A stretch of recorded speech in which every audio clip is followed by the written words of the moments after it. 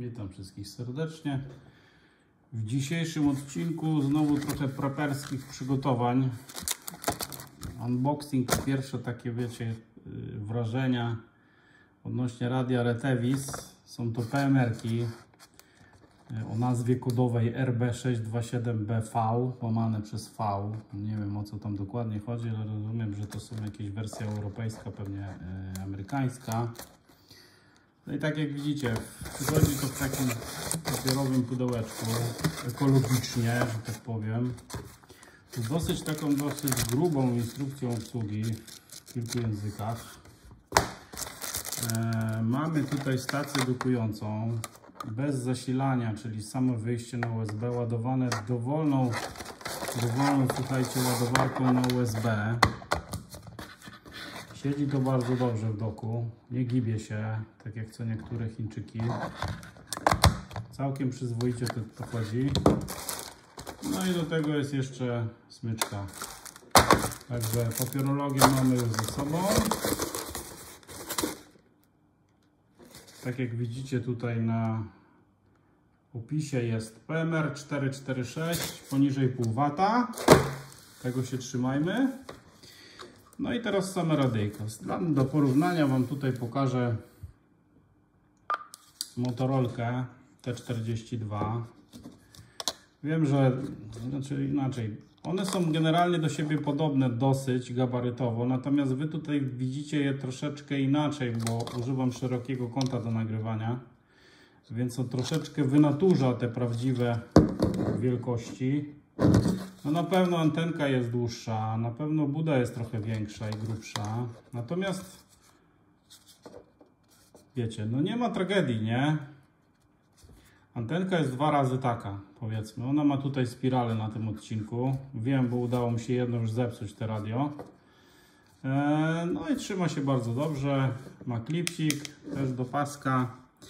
Eee, także po kolei. Hmm, zaczniemy jeszcze od baterii. Bateria jest bardzo dobra. Nie będzie widać, nie sfokusuje mi. To jest 1500 mAh litowo-jonowa. Same radio, zobaczcie, jest wykonane pancernie. Jest taka rynienka, wszystko jest jakby, wiecie, takie mega odpornie zrobione. Sama waga jest też, no jest trochę cięższa jest od Motorolki, natomiast no jest dobrze zrobione. Jest to troszeczkę twardy plastik, ale nie jest to aż tak chamski jak w Baofengach na przykład 5R. Także powiem Wam, że jeżeli chodzi o to, to bateryjka jest fajna. Bardzo dobrze, długo trzyma, ze 3-4 dni używania takiego normalnego chodzenia po lesie na przykład.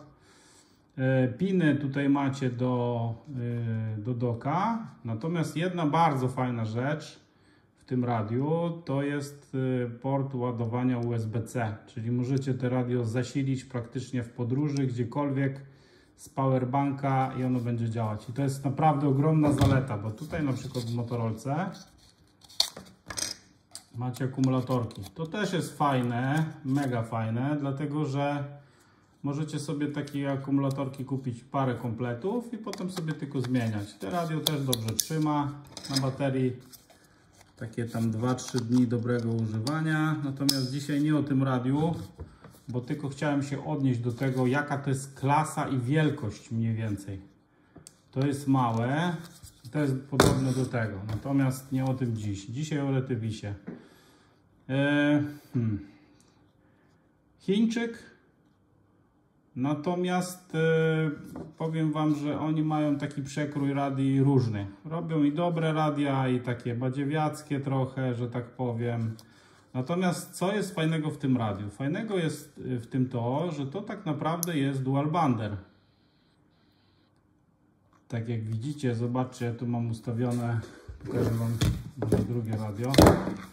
E, ja tu mam ustawione e, nazwy kanałów, natomiast przychodzi w oryginale w takim stanie, czyli macie częstotliwości, krótko mówiąc częstotliwości PMR zaprogramowane w postaci kanałów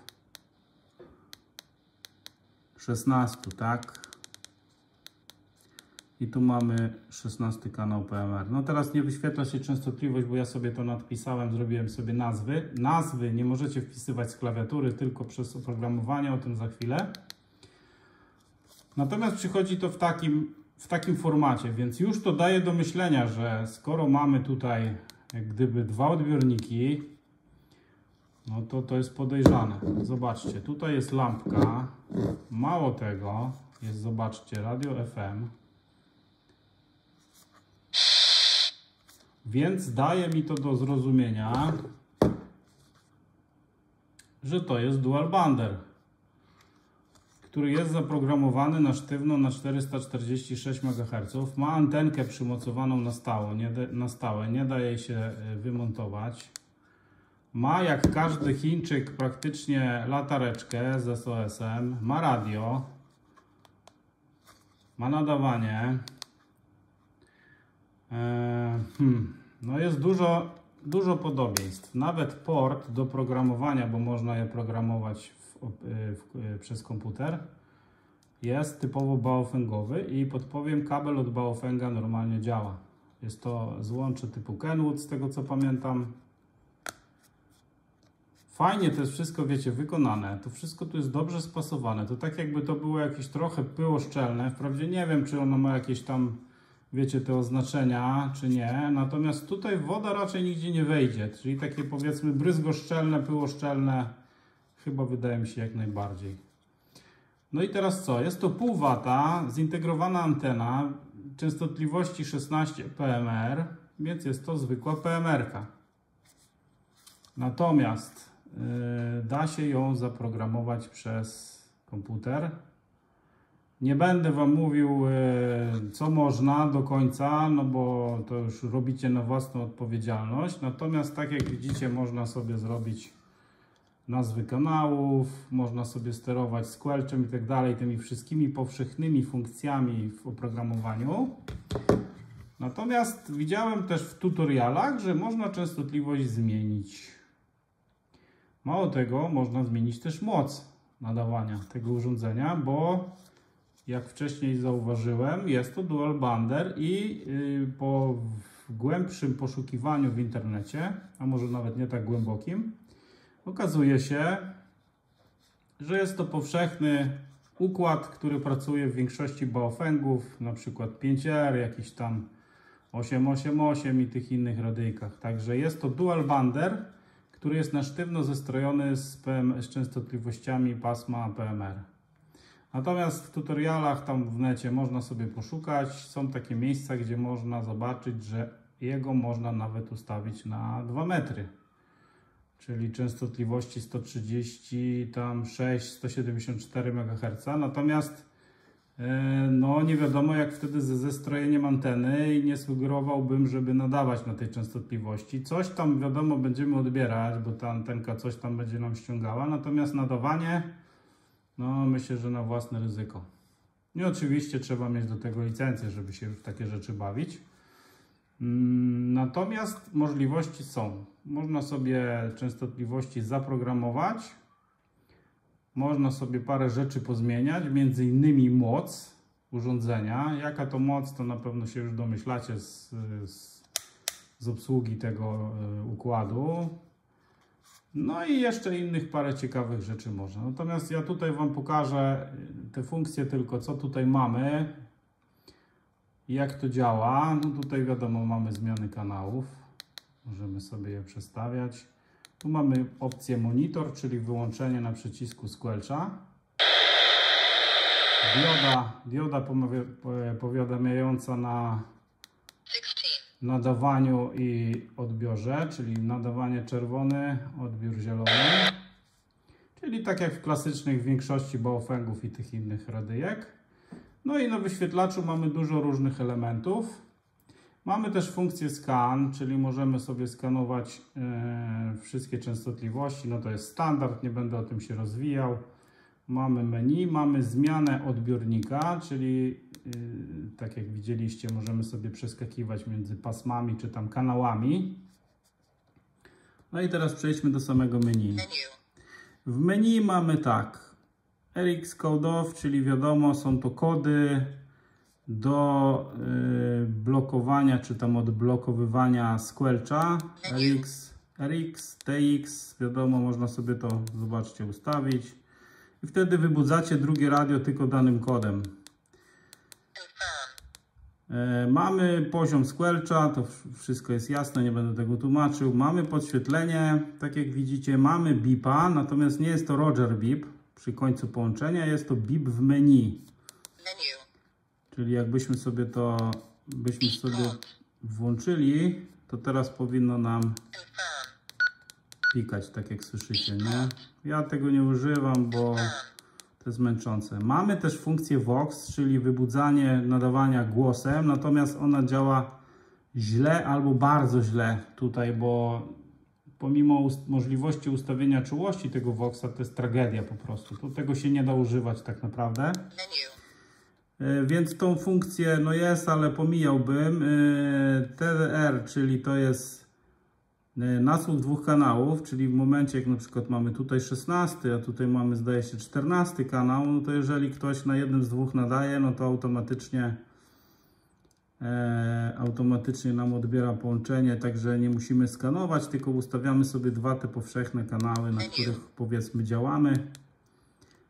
E, oszczędzanie energii, czas nadawania, po którym radio przejdzie w tryb e, odbioru, żeby oszczędzać końcówkę mocy i nie zajmować, nie zajmować częstotliwości. Busy channel lock, czyli na przykład blokada nadawania w momencie, kiedy ktoś nadaje na kanale, a my byśmy chcieli mu poprzeszkadzać, możemy sobie to włączyć i wtedy nie będziemy nadawać. I to są dzwoneczki takie do powiedzmy do wywołania, natomiast one też nie chodzą w kodach, tylko no, to są normalne takie dzwonki, tak jak tutaj macie w Motorolce, że możecie sobie kliknąć i jeżeli ktoś wie jaki to tam dzwoneczek, czego może się spodziewać, no to możecie go w ten sposób wywołać.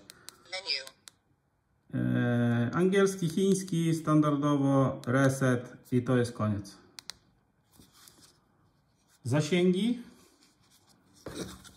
To jest król zasięgów z takich malutkich radyjek. Na tym radiu robimy e, lepsze i pewniejsze łączności niż na przykład na T- T82 Extreme bodajże ona się nazywa, tak? Takiej troszeczkę większej, takiej podobnej bardziej do tej Motorolki to tutaj robimy naprawdę w mieście z, z Dawidem 3 km.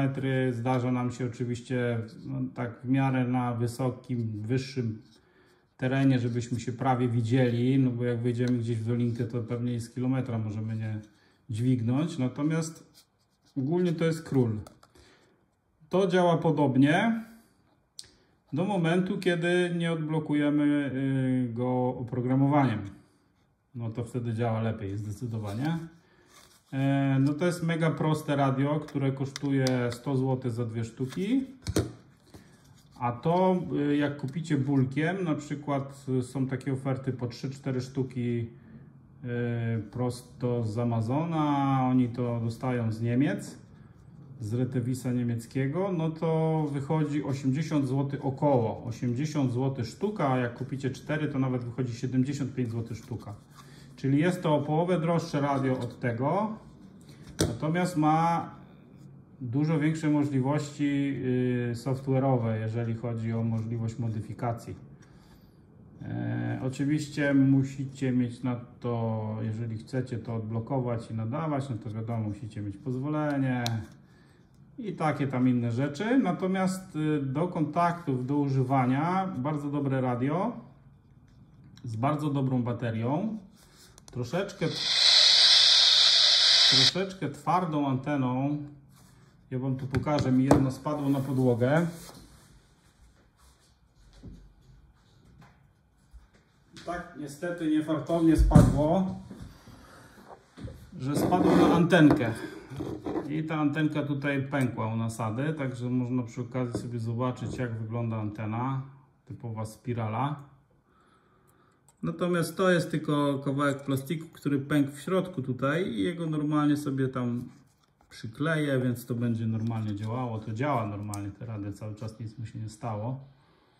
Tak jak widzicie. Także czy można polecić? Można. Za te pieniądze to myślę, że to jest bardzo dobre radio z bardzo dobrą baterią, z różnymi tam funkcjami dodatkowymi. I teraz co do oprogramowania, gdybyście byli ciekawi, to podpowiem Wam, żebyście się nie męczyli. E, HIRP, powszechnie stosowany wersja Legacy tylko to obsługuje. Natomiast y, ten Chirp Next nie obsługuje tego radia, nie mogłem się połączyć, natomiast bezproblemowo z tą wersją Legacy, tą wcześniejszą, czy tam też stabilniejszą, czy to nie pamiętam jak ona tam jest, ale to jest ta wcześniejsza wersja, która, y, która spokojnie z tym radiem działa i tam trochę rzeczy można zrobić. Dojdziecie do tego jak to zrobić, bo to nie jest oczywiste, że można sobie tam, wiecie, bo to jak gdyby te, te oprogramowania, te, oni to robią zbiorczo i one są lustrzane z tymi oprogramowaniami, które, które są od producenta. Aha, jeżeli byście chcieli oprogramowanie tylko do tego radia od producenta, to możecie napisać do, do Retevisa do Niemiec na support. Tam jest taka miła pani i ona Wam oprogramowanie za darmo na pewno podeśle linki do tego oprogramowania, w którym to można robić różne rzeczy. Podpowiem jeszcze jedną rzecz. E, jeżeli macie zdolności albo wiecie o edycji coś plików dat, no to nie będziecie mieli w ogóle kłopotu z programowaniem tego radia. Tak myślę przynajmniej, używając normalnego oprogramowania standardowego. E, żeby tutaj coś pozmieniać nie w, nie w tej wersji legacy, tylko w oprogramowaniu standardowym, to musicie mieć jeszcze inne oprogramowanie od modelu RB bodajże 27, a nie 627. No ale do wszystkiego można dojść. Są tutoriale e, w sieci, jak to zrobić. Robicie to na własną odpowiedzialność. Nie jest to jakieś skomplikowane, natomiast potem możliwości, tak jak tu widzicie, 15, 16, to można sobie te kanały, nazwy kanałów zaprogramować, ale też możemy tutaj jakąś tam choinkę stworzyć z różnych parametrów. 15, 14, Ja wam tu wprawne oko na pewno widzi, co się dzieje na wyświetlaczu. Natomiast, natomiast e, no można. W każdym razie można. Jak za takie pieniądze, za 80 powiedzmy zł za sztukę, oczywiście jak kupujecie, to w większej ilości, na przykład dla siebie, tam dla rodziny, dla dzieci, no to jak najbardziej. Radyjko jest takie od kopa jest trochę bardziej zaawansowane niż ta Motorolka. Myślę, że cenowo jest to adekwatne do możliwości, czyli płacicie połowę więcej, jak kupicie w bulku 3-4 sztuki, a natomiast dostajecie też dużo więcej niż taka zwykła Motorolka. Ta Motorolka jest bardzo dobrym radiem i powiem Wam, że naprawdę u mnie tam mamy tego kilka sztuk i będzie powsze czasy, bo jest to bardzo dobre, małe radyjko, które nie- nadspodziewanie świetnie radzi sobie w terenie. To jest radio, które ma większe możliwości. e, Jeżeli chcecie się trochę coś bardziej pobawić, natomiast jeszcze mieć dodatkowe rzeczy, jakieś tam latareczkę czy radio FM, no to plus jeszcze możliwość przeprogramowania, no to no, mogę polecić z czystym sumieniem. Radia kupiłem, nie jest to za swoje pieniądze, nie jest to mini recenzja sponsorowana przez Retevisa. E, Dużo kupujemy takich różnych radyjek, sprawdzamy, bawimy się, odsprzedajemy dalej. Natomiast powiem Wam, że warto. Warto, bo nawet sama bateria jest bardzo dobra, jeżeli chodzi o bateria i sposób jej ładowania. To jest już w ogóle fajna rzecz, nie? że możecie to zrobić w, podróży, w ruchu powerbankiem. Nie musicie się przejmować, że wiecie, tak jak na przykład w, w postaci dużego radia jakiegoś, teraz Wam pokażę jakiego, zabraknie Wam prądu i jesteście w tyłku, nie? Zaraz Wam pokażę jakiego radia. Na przykład jeżeli zabraknie Wam gdzieś w terenie prądu, no to z JESu już na przykład macie problem, nie? Bo trzeba doka mieć do niej albo drugą baterię, żeby to odpalić. Albo na przykład choćby też takiego PMR Midlanda. No to też niestety go z powerbanka nie naładujecie, nie? Musicie mocno kombinować, żeby to zrobić, bo jest dock, nie ma żadnych wejść, znaczy są wejścia, ale nie ma wejścia ładowania takiego normalnego. To też jest Kenwood. Także generalnie też jest duży problem. Natomiast z takimi radyjkami do zasięgów kilku kilometrów w jakimś tam terenie powiedzmy normalnym nie będzie problemu i nie będzie problemu z ładowaniem. Tutaj macie akumulatorki wymienne, tutaj macie możliwość naładowania z powerbanka, więc jest wszystko super. Dobra, koniec gadania na dzisiaj. Gdybyście chcieli coś jeszcze zobaczyć, jakieś inne radyjko, na przykład Midlanda, może coś trochę OS-u, to dawajcie znać w komentarzach. Ja się na dzisiaj z Wami pożegnam. Do zobaczenia.